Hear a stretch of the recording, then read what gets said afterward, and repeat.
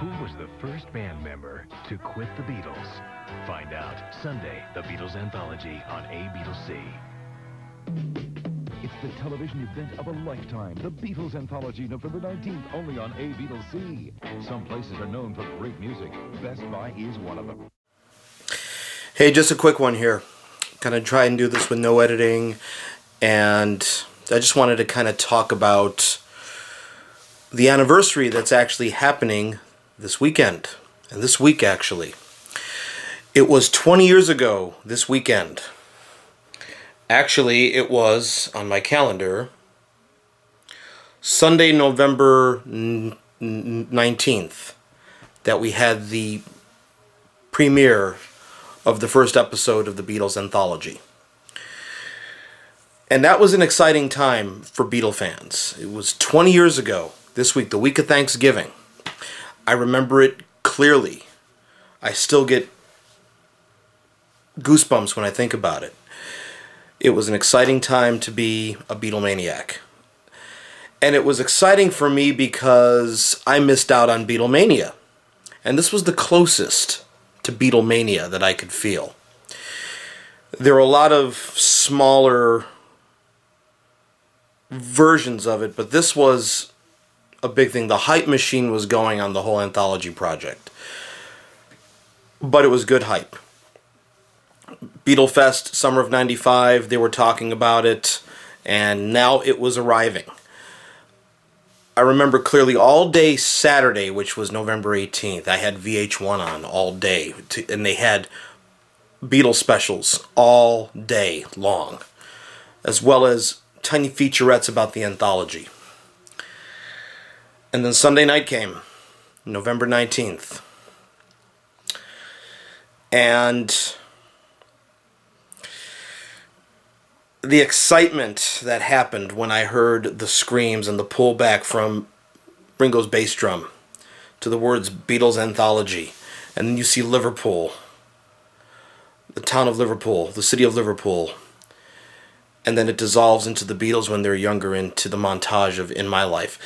Uh, this was something that I never thought was going to happen. I'm finally hearing their story from them. And just hearing the things on the interviews and plus hearing the earlier recordings that they did, you really get the story that these were just four kids. Four kids just wanted to get together and play rock and roll play some music. They didn't know they were going to change the world. That's what I loved about the whole anthology thing, is that it really emphasizes that. Like John said, we were just a band who made it very, very big, that's all. But they were a damn good band. And as I watched it, I would just... But the most exciting thing was the fact that we were going to hear the first new Beatles recordings in ages.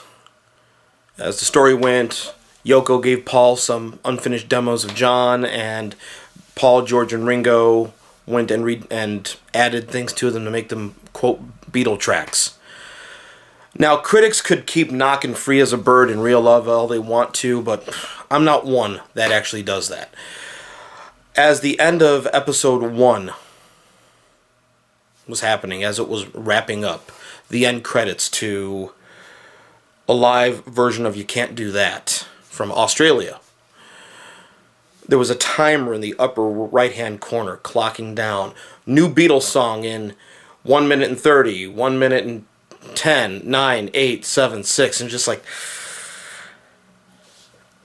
I oh the oh the excitement that it just gave me. I'm I'm getting excited now when I think about the way I felt. I was I was finally gonna hear this. And to me, it didn't disappoint when I heard Free as a Bird. It did not disappoint me at all. I didn't nitpick at it the way everybody else did afterwards, and is still doing. To me, it was a great example of, it was a great what if. And I had tears streaming down my face. I was crying. I was crying as I heard George's slide come in, hearing John's voice coming through from like the heavens and hearing Paul and George singing with him and Ringo's drums. Oh, I, I was in heaven. It, it was just, it was great and it was heartbreaking at the same time. Because, boy, what could have happened? What could have been? What could have happened had John not been killed by the man who will remain nameless? And then, of course, Tuesday, November 21st of 1995, the release of the first anthology CDs. They were two disc for uh, I'm sure the Beatlemaniacs on my page, the Beatards on my page know this that, that follow my channel. Anthology 1 came out, the first of the two disc sets. I rushed from I rushed home from work. And we had a lot of stuff to do for Thanksgiving week, getting our house in order, but I rushed home from work. And actually my dad had to get up to to where I was going anyway, so we just hopped in his car and I went to Best Buy for you Chicagoans on my page, pay on my channel. And there's a couple of you Chicagoans on there. Harlem and Irving Plaza in Norridge, the town of Norridge. Went to the Best Buy, and Best Buy at the time was able to. Uh, they did a lot of. Um, they had a lot of great back catalog stuff, and they had the best deal going.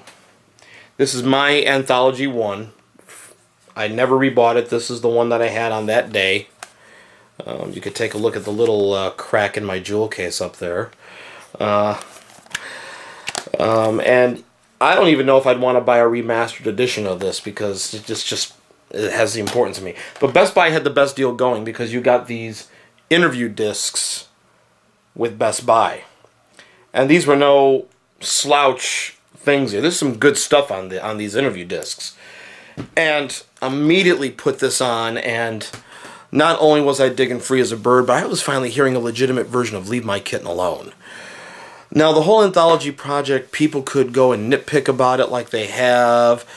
Um, I think it was a great way of showing the Beatles with clay feet, which is one thing I like about my heroes, uh, my musical heroes.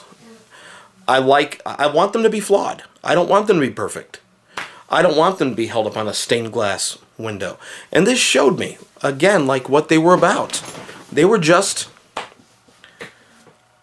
four schoolboys who got together, who met each other, became friends, and wanted to form a band together.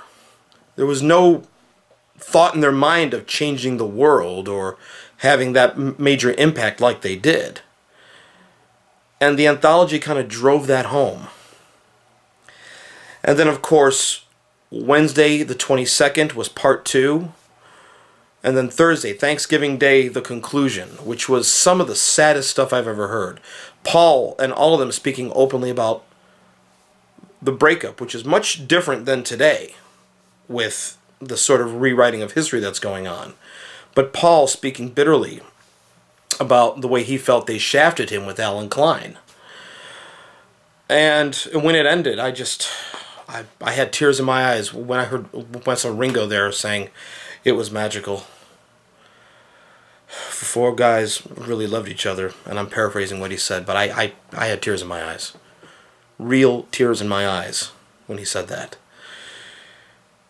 And that year of 96, when Anthology 2 came out in in the spring, and then Anthology 3, Beatlefest in in summer of 96 in Chicago, and I'm sure in New York it was hopping too, was the biggest that I remember. It was packed, wall to wall people, a new generation of Beatle fans. And I remember feeling sad about another reason. My godfather Richard, he passed away when I was about five, and he was very young he loved the Beatles, and he also loved Elvis too, but he really loved the Beatles. He was a McCartney guy, and I know that from his record collection. He kept on going through my mind because he was. I got into the Beatles because I saw his records and my father's records, and they were just the coolest looking records ever. And I said to my mother, because her and my her and my godfather Richard were very close. How do you think Richard would be reacting right now? And she said, oh, he would be just as excited and off the wall as you are right now. And I was hoping he was watching it with me because I would have loved to have gotten to know him further. And that would have been awesome. He and I together in a room watching this thing. So, Richard, I hope you saw it some way. But that's basically I just wanted to touch on the anthology. This is the anniversary. I'm surprised that Apple did not do an um, a Blu-ray release of the extended edition of the series and did come out with remastered CDs. But if you remember the anthology, I hope the excitement of the whole thing was just as exciting for you as it was and still is for me. It was a great time to be a Beatard. It was a great time to be a Beatlemaniac. It's a time that I remember and a time that I cherish. And thank you all for sticking with me. I do have a video that I need to upload on the new Macca reissues, and I'm going to be doing one on the One Plus compilation, which, just tell you right now, all three, Tug of War, Pipes of Peace Deluxe Editions, and One Plus, go out and get them. I should have a new one up hopefully by next weekend, at least of the Macca releases. So thank you all for sticking with me. Peace and much love to you all. Thank you.